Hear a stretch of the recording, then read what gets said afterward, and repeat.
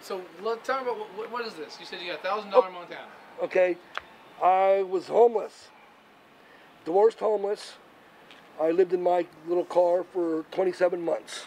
One day in Southern California, I was sitting in traffic and I just happened to look over to my left and seen what I believed was a used car lot. And there was an older 70s Winnebago square nose class A. So I hung a UE and I was over looking at it.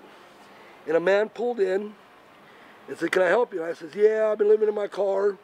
He looks over and sees my stuff in my car. And I said, I'm, you know, looking, I'm tired of it. I want to maybe get an RV. He says, Well, that one's not for sale. That's a customer's. And he says, But just yesterday, me and my wife bought a brand new RV.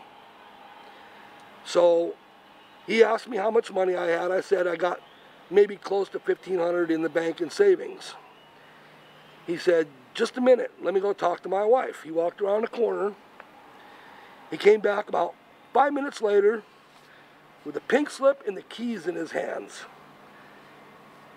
And he then he walked me around the corner of the building there where his big brand new RV was sitting and I looked and I was like, wait a minute, you know, I can't afford nothing like that. And he said, no, no, that's the one we just bought.